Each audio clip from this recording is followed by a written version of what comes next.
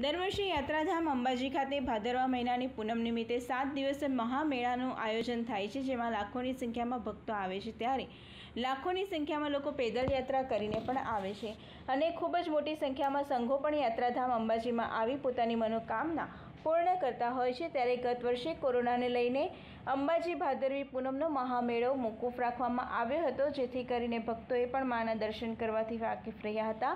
આ વર્ષે આમ તો મેળો મોકૂફ છે, પણ ભક્તોની શ્રદ્ધાને ઠેસ ન પહોંચે તે માટે ભક્તોને માના દર્શન કરવાની છૂટછાટ આપવામાં આવી છે. ત્યારે ભક્તો પણ પેદલ યાત્રા કરીને માના ધામમાં પહોંચવા થનગની રહ્યા છે.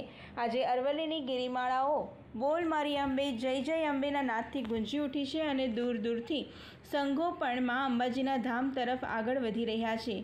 બોલ મારી અંબે, જય જગદંબેના નાદ સાથે ભક્તો અંબાજી તરફ આગળ વધી રહ્યા છે. ત્યારે ખાવા પીવા તેમજ ચા નાસ્તાની સુવિધાઓ પણ વિવિધ સેવાભાવી લોકો દ્વારા આપવામાં આવી રહી છે તથા નિઃશુલ્ક મેડિકલ સેવા પદયાત્રીઓની પણ કરવામાં આવી રહી છે.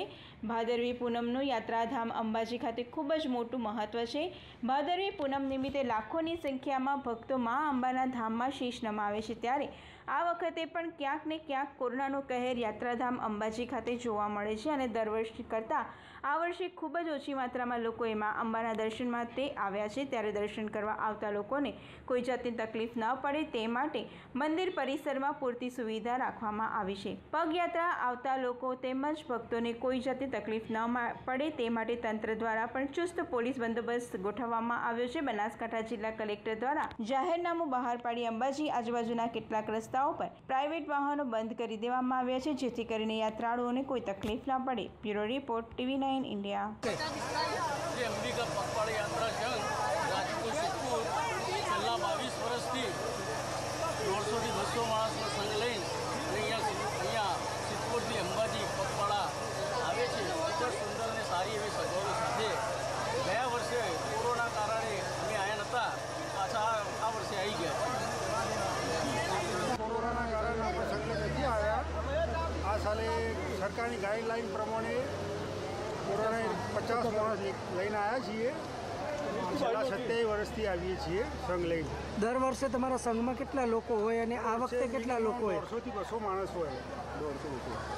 આ વખતે પચાસ લઈને આવ્યા છીએ. બોલો જય અંબે! છેલ્લા બાવીસ વર્ષથી પગપાળા યાત્રા સંઘનું આયોજન કરીએ છીએ. અને ગયા વર્ષે કોરોના હિસાબે યાત્રા મુલકતી હતી. સંઘનું આયોજન કરેલું છે. સરકારી ધારા bureau report TV nine India.